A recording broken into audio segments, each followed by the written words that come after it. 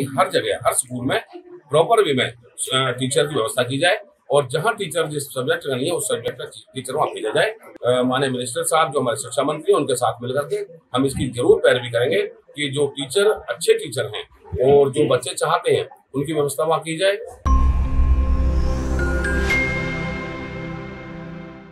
सरकारी स्कूल में अध्यापकों की कमी पूरा करवाने के लिए पिरथला के गाँव पनहेड़ा खुर्द सरकारी स्कूल के सैकड़ों छात्र छात्राओं ने विधायक नैनपाल से मुलाकात कर अपना ज्ञापन सौंपा।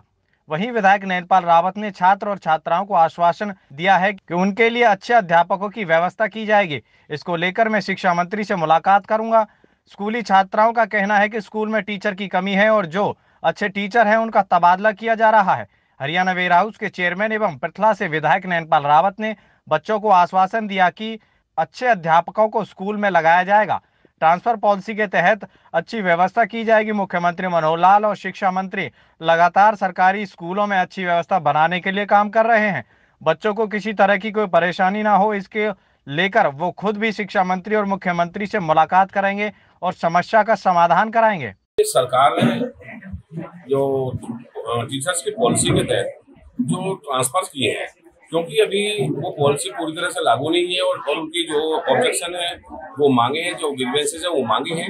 और मैं समझता हूँ कि हमारी सरकार का माने मुख्यमंत्री महोदय का एक ध्येय है कि जहाँ पर जितनी जो व्यवस्था है जो टीचरों की संख्या है आपके स्टूडेंट्स की संख्या है उसके हिसाब से वहाँ पर टीचर समायोजित किए जाए। कुछ स्कूलों में जो संख्या है वो बहुत कम है। बहुत सारे स्कूलों को अपग्रेड अपग्रेड भी हमारी सरकार ने किया है।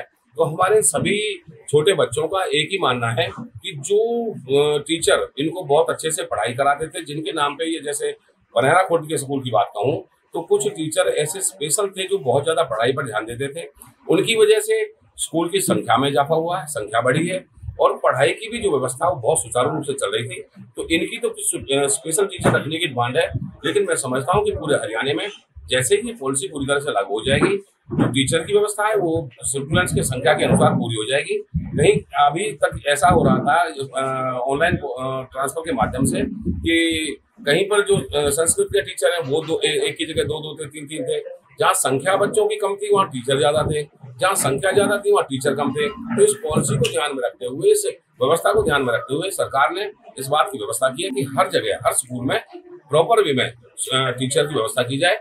और जहाँ टीचर जिस सब्जेक्ट का नहीं है, उस सब्जेक्ट का टीचर वहाँ भेजा जाए तो मैं समझता हूँ कि इनकी सारी बातें माननीय मुख्यमंत्री महोदय के संज्ञान में भी है और सरकार के संज्ञान में और निश्चित तौर पर माननीय मिनिस्टर साहब, जो हमारे शिक्षा मंत्री हैं, उनके साथ मिलकर के हम इसकी ज़रूर पैरवी करेंगे कि जो टीचर अच्छे टीचर हैं और जो बच्चे चाहते हैं, उनकी व्यवस्था वहाँ की जाए और जो टीचरों की जो संख्या में कमी है या उसके बाइफर्केशन में जो कोई कमी है तो उस तरह का जो है वहाँ पर जो है व्यवस्था कराई जाए।